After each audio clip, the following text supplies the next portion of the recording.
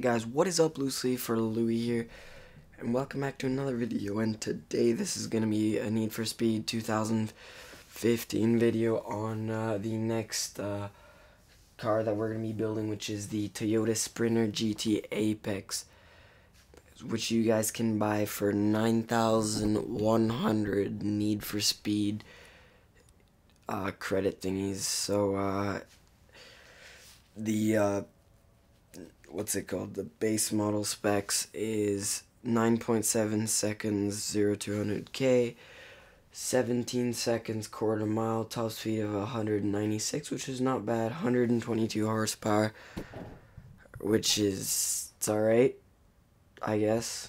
Okay, let's buy it. We've got 631,000. Actually, yesterday I just completed the uh, Outlaw. This is why I have this. Um. Okay, I've never customized this car, but uh, let, let's do it. So as usual, I'm just going to go through all the customization before I go over to the body kits. Okay, we just have a lot of uh, different front bumpers. Uh, can we remove it? No, we cannot. I think you can remove the rear bumper. I don't. Oh, yes, because these are pop-up headlights, of course. Okay, this car is way too high off the ground. Canards, of course, or Canards if you're from the United Kingdom.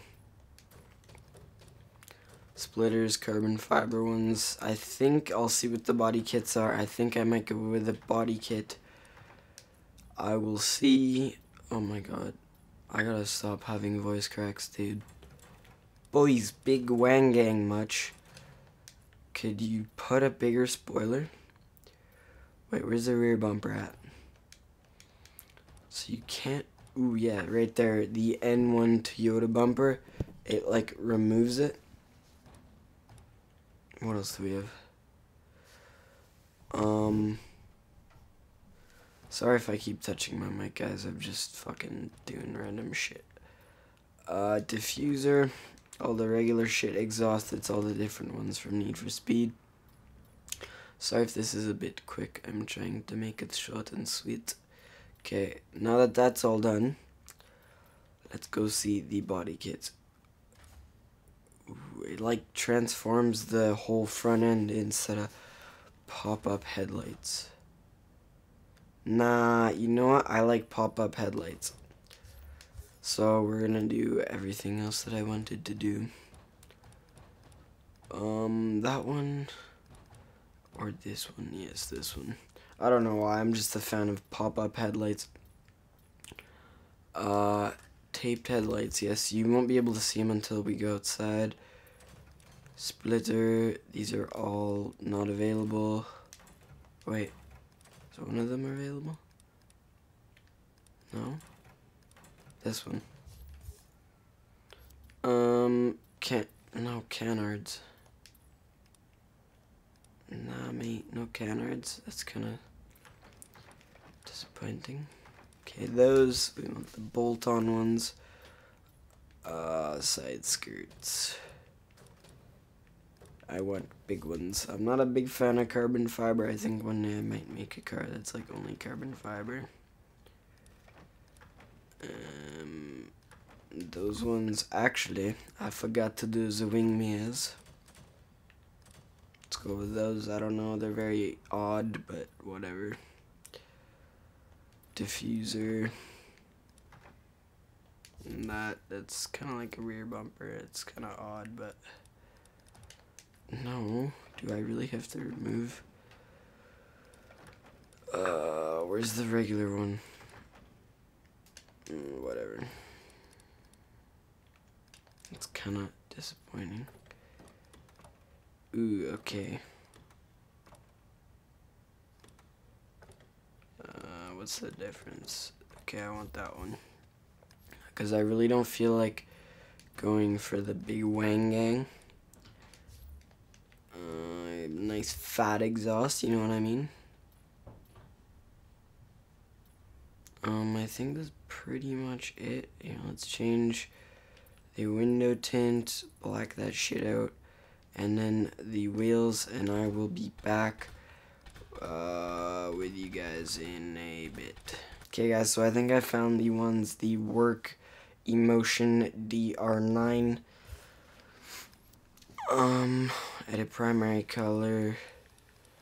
I don't go full black so that you guys can see them a bit. None of that no uh, tire thingy tire lettering time I can't even remember. Just some red calipers. Ooh that looks clean. Yeah what okay guys so we are back and now we're gonna adjust the stance. Yo, we want that drop, and we're definitely not gonna pull a T Martin, so we want that shit as wide as possible. Actually, a bit in, bit actually a lot of camber, bit at the back. I think we're gonna turn this in to a drift missile.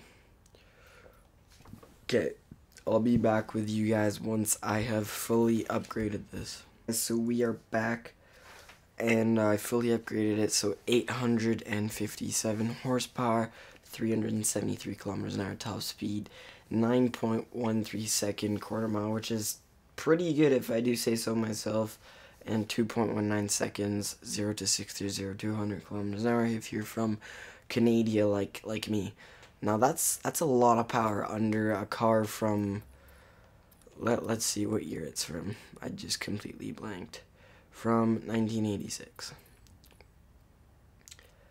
I think some people call this the Toyota AE86, so let's let's change the tune. No, I want to change some of this. Steer range super wide, steer response a bit faster.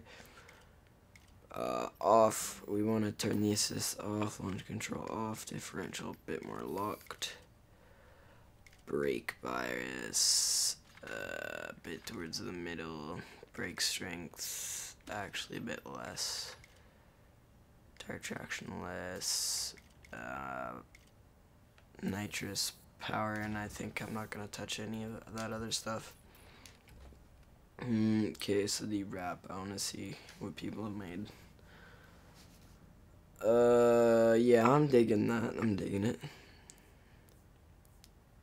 What's this? Okay, yeah. What's this? Orange and green wheels? No, that no, no, no.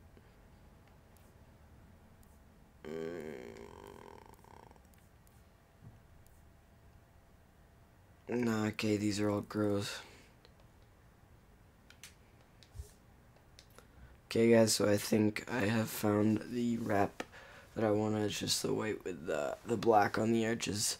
Actually, on that front arch, whoever made it was not that good. Okay, so I'll meet you guys back under the garage. Okay, guys, so we are back and uh, under the tunnel, and look at those pop-up headlights taped to. Ooh, that is clean in the rain, too. So I'm just going to shut up so you guys can listen to this thing rev.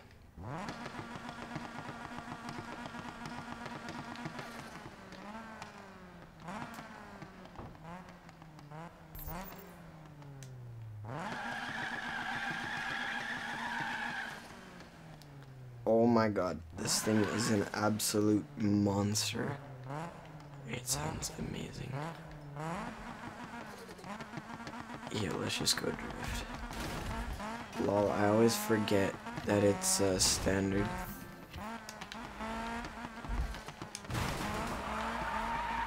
Oh, oh, oh, not bad. I do have all the assists off, guys that's not an excuse. Actually, it is kind of an excuse, but whatever. Actually, we're gonna go back to the main spot that I like to drift, which is... Where is it? It's back by the garage. Seven and a half grand for the rev limiter. That's not bad. Eight gears. That's quite a lot. Yo, dude, I can't drive.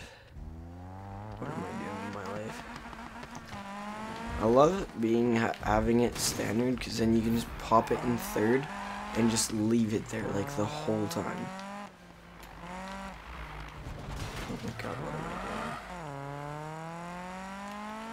to be honest, I'm better when I have my C10 Skyline. Ooh, that was clean. Oh my god, yes, yes, yes, yes. Car. Yo, ooh, tail tap that F1 shitty. No, I'm just kidding. Actually, I'm not kidding. If you have an F1 shitty, go kill yourself. No, I'm just kidding. No, but seriously, F1 shitties are bad. Okay, it's it's good, but I may have to change the tune just a tad bit. It feels a bit sticky, and it feels like you really gotta, like you gotta really hold the brake to get her sideways. So yeah, but after that, you just tap the brake a bit. The best uh, part when the brake L2 now, it's actually like just the brake. It's not um like reverse back when it was automatic. I'm tail tapping everything right now. Okay guys, I think we're I'm gonna end off the video here. So if you guys enjoyed this, don't forget to slap that like button and subscribe if you're new so that you don't miss any of my future videos. And until next time, peace and have a good one.